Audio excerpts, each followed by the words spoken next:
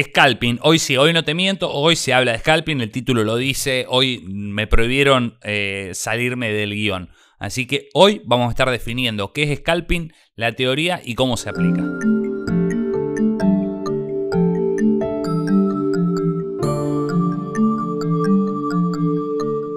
Bienvenidos y bienvenidas una vez más a Coinery TV. Esto es, no me gusta que no estés centrado, esto es Ser Trader auspiciado por Bybit. Johan, ¿qué tal? ¿Cómo estás? Bien, ¿y tú cómo vas? Bien, bien, bien. Estás medio decaído, ¿qué te pasa? No, no, no, no pasa nada. Estaba poniendo a grabar aquí. está cansado de las vacaciones. Está cansado, no recuperó el ritmo todavía. Todavía está mucho Ah, tenés que volver el ritmo de trabajo. ¿Viste, ¿Viste la foto que le sacaron los chicos de. La vi. ¿La, podemos poner acá? Sí, sí, la puedo poner. Ahí. Bueno, escúchame. Hoy sí, no me puedo salir del guion. Me dijeron que hoy es scalping, así que vamos a hablar de scalping. El señor scalping, que a mí me sale siempre mal. Siempre termino mal.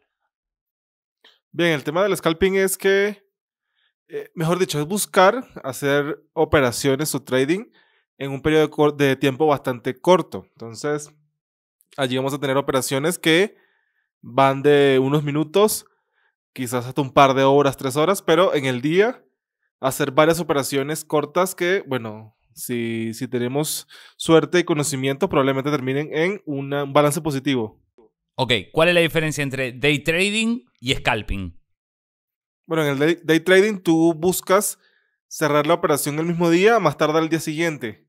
Entonces tú puedes hacer una sola operación. O sea, puedes abrir una operación, por ejemplo, si operas en bolsa, abrir una operación cuando abre la bolsa y una cuando cierre. Entonces ahí sigue siendo day trading. El scalper o sí que es la persona que hace scalping, lo que busca es tratar de tomar ganancias rápidamente y hacer esto varias veces. Ahora, ¿cómo decís rápidamente?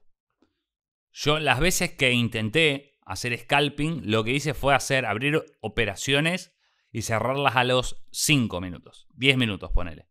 Después abro otra, a los 8 minutos la cierro. Abro otra, a los 15 minutos la cierro. Eh, ¿Eso es scalping, digamos? Sí, tal cual. Eso, eso es lo que llamamos scalping. Y eh, en esta forma de trading lo que tenemos que tener en mente es que no hay fundamentales. O sea, en este, en este sistema de trading no hay una noticia. Bueno, sí, puede que haya una noticia y en algún momento el mercado se vuelva muy volátil a nivel de scalping, pero en general las noticias no, no influyen tanto en lo que puedes hacer por el corto tiempo que tienes para operar. Pregunto, y acá que nadie se enoje, si alguien es scalper o, hace scalping que no se enoje. ¿Qué diferencia hay entre scalping y opciones binarias? Porque es como una media una apuesta, ¿no? Eh, de hecho, es una, buena pregunta. En el caso de las opciones binarias, no tienes chance de poder modificar tu operación en caso de que, de que esté cerrado. Buen punto. Buen punto. Dale. Y en el caso, por ejemplo, tú puedes lanzar alguna operación en scalping, digamos, a 10 minutos o 20 minutos, supongamos, un ejemplo. Entonces, aquí vamos a la gráfica de, si quieres, eh, para mostrarlo aquí en pantalla, más o menos cómo, cómo eh, sería una operación en scalping bastante buena. Que en opciones binarias tendría, perderías varias oportunidades. Entonces, digamos que tú eres una operación en 33.600 dólares en el Bitcoin, Bitcoin USDT. Entonces, tú vas en corto, pan. Resulta que bajó a 33.500.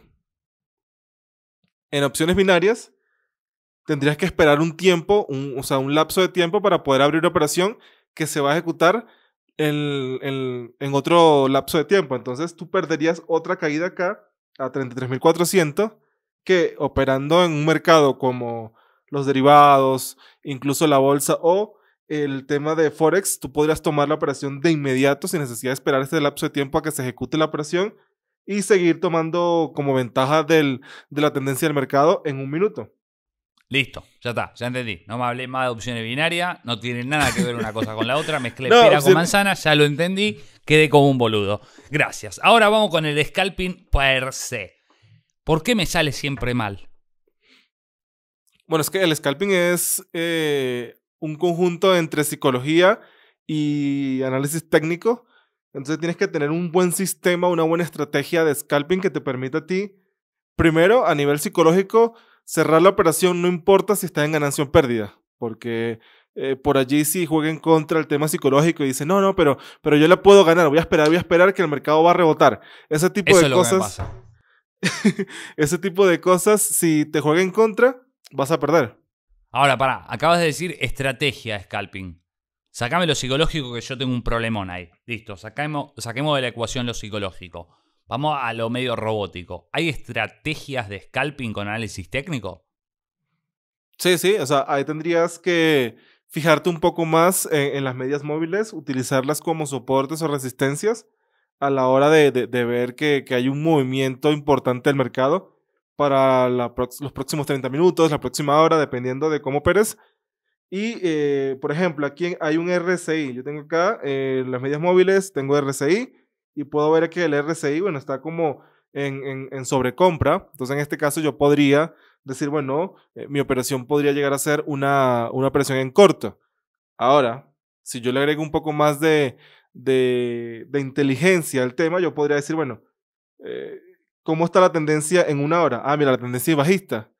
Entonces yo puedo decir, bueno, sí, el, el, el short corresponde a la tendencia de una hora, así que las probabilidades de ganar son altas.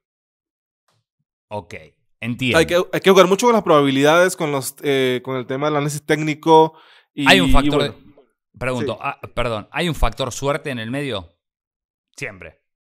Sí, porque también tienes que tener en mente de que el, el mercado está jugando un mercado de un minuto de cinco minutos. O sea, es bastante corto como para poder decir, bueno, mira, e, es predecible el movimiento. Entonces, allí lo que, lo que yo tendría en cuenta, aparte del tema psicológico, también es la gestión del dinero, que es súper importante para que, bueno, si te agarra una racha de pérdidas, porque puede pasar, puedas luego eh, sobrellevarla y, crecer la cuenta. Bien, ahora que quedó claro qué es lo que es scalping, te voy a hacer una pregunta picante, a ver si me la puedes responder. Picante para todo menos para Venezuela, porque picante en Venezuela ya me dijeron que significa otra cosa. Una pregunta difícil de responder. Scalping, day trading, short term, mid term o long term, es decir, corto plazo, mediano plazo o largo plazo. ¿Cuál de esas opciones no elegirías vos? Eso no. ¿Cuál de esas opciones crees, si querés agregar opciones binarias, crees que es la más usada hoy en día? Yo creo que entre, bueno, el, hay, hay una adicional que es el tema del swing trading. O sea, está el scalping, day trading y swing trading. Y yo diría que la que mm, más se usa como tal es day trading a nivel de, de, operaciones, sobre todo en derivados, porque eh, hay un costo implícito en el tema de comisiones y de intereses. Muy bien. Day trading es la, entonces, crees que es la más usada. ¿Cuál es la que más ganancias deja? ¿Tenés idea de eso? La que me ha funcionado a mí es swing trading porque eh, puedo tomar movimientos al mercado mucho más largos con menos operaciones. Entonces me ahorro comisiones. A veces, dependiendo de cómo, del movimiento que agarres, puedes tomar o pagar menos intereses y eso hace que la ganancia final sea mayor. Entonces, según amigos que tengo, también swing trading le ha ido muy bien. Y ya explicamos lo que es swing trading, ya que el, el, más, el que más ganancias da. no, pero si quieren el próximo Star Trader 1.0 Claro, boludo. Estamos, explicando el que no va. Estamos explicando el que no va para qué. para que el próximo programa. no, pero es que a ver, la gente, hay gente que le encanta hacer scalping. pero hay que ser realistas y decir que no es para todo el mundo, porque si, si no soportas eh, movimientos muy eh, rápidos. A ver, Perdón. Yo lo que me pasa es, voy, no sé, 100 dólares. Estoy en 105, la cierro. Bien, abro de vuelta, estoy en 107, 102, me baja, no la cerré. 100, no la cerré. Digo, bueno, ahí, viene, ahí viene, ahí viene, ahí viene. 98, digo, ah, dale, dale. Bueno, 95, digo, uh, la puta madre. Bueno, llega a 100 y la cierro para tomar de vuelta. 87.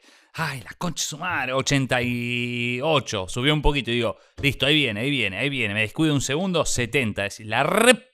Y cerrás ahí, recaliente. cero, digamos. No, no, no, no. Bueno, sí.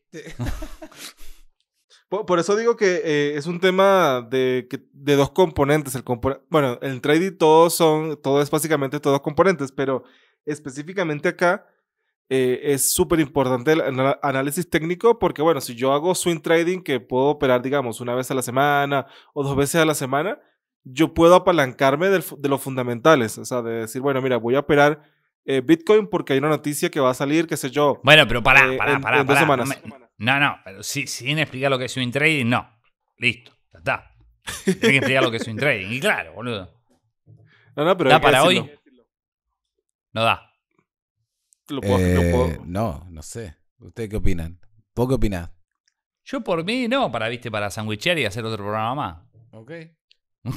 Bueno, no tengo problema. Tenés que ir a trabajar vos. Tengo después. que ir a hacer lo otro. Exacto. Claro. Tenés que seguir streameando. Johan, cerramos acá. Perfecto, sí. O sea, tengan cuidado eh, con el tema del scalping. Y bueno, ah, ya saben que lo que le pasa a Leo. y eso es lo que le pasa a la mayoría de las personas cuando hacen scalping. O sea, mi, mi ejemplo es lo que. Cómo perder en scalping es mi ejemplo. Lo que sucede. Sí, tal cual. Yo no hago scalping porque ah, me, me ha sucedido lo mismo. Entonces dije, bueno, nada, hago swing trading y day trading y ya está. Entonces, Ah, no soy malo, sino que no encontré la situación correcta. No, no encontré la estrategia correcta, digamos. No es que soy malo haciendo trading. Bueno, pero es que una cosa es seguir una estrategia de análisis técnico y otra cosa es tener la psicología para poder seguir esa estrategia. No, digo, a ver, no me funcionó el day trading, no me funcionó opciones binarias, no me fu- funcionó el scalping. El Ah. spot tampoco. El spot no te está funcionando este mes. El spot es a largo plazo. Ok, ok. No, yo quería saberlo. ¿no? No, el, spot es, el spot es comprar un activo a largo plazo. Hay un torneo que, también el que está jugando eso de 5 minutos que tampoco te está yendo bien. No, y en la competencia de Byte, que por cierto, si no se inscribieron, creo que falta uno, se habilita un premio más todavía. eh, un premio más grande, si se registra uno más. Eh, en ese ya perdí. ¿Ya? ya ¿Qué? Se me liquidaron los 100 dólares. No. Ah, arrancaste antes. O sea, arrancaste antes. No, no, yo arranqué cuando arrancó la competencia. Lo Ahí único te, que. te vendiste solo. Arrancaste antes para- y perdiste los. Antes de arrancar el juego, ya perdiste. No, no, ya arrancó la competencia, ya arrancó. ¿Y ya perdiste? Fui, estuve primero como un rato. Estuve como 4 o 5 minutos, estuve primero. O sea, o sea, que. ya va, ya va. O sea, lo que me acabas de contar ahorita de que sube a 105, luego baja a 70. Sí, eso fue lo que pasó en. Eso fue lo que pasó en la competencia. Pero Bueno, llegué hasta chicos. 140 o 150 y fui el, estaba en top 1. Así que por un momento fui el ganador, así que con eso me conformo. O sea, yo si hubiese cerrado ahí, yo, yo fui ganador un- un- por un momento. O sea, ¿perdiste contra quién? No sé, un montón de gente, pero fui el ganador durante un tiempo. Ok. Perdiste contra vos mismo, básicamente, como siempre. Y perdí contra mi propia psicología. Ok. Quería saber eso nomás. Y claro, porque los otros no es que los otros están compitiendo contra mí. O sea, sí, cada uno compite contra uno mismo. Yo perdí contra mí mismo y los demás están ganando o perdiendo contra su propia psicología o su propio nivel de trading. O sea, el eslogan que dijiste para que se anoten de decir la competencia contra Alejo, Matilde y Johan no tiene nada que ver. o Era sea. todo mentira. Ah, ok, ok. Era para que se metan nada más. Y si ibas ganando, sí ibas a decir, hoy le estoy Si iba ganando, a todos". ganando es diferente, porque uno le está ganando a los demás. Pero si vas perdiendo, Bueno, ya saben lo que genera el Chao, hasta luego.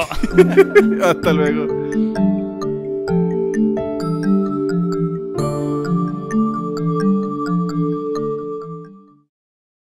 Che, Johan, ¿y vos cómo, cómo venís en ese...?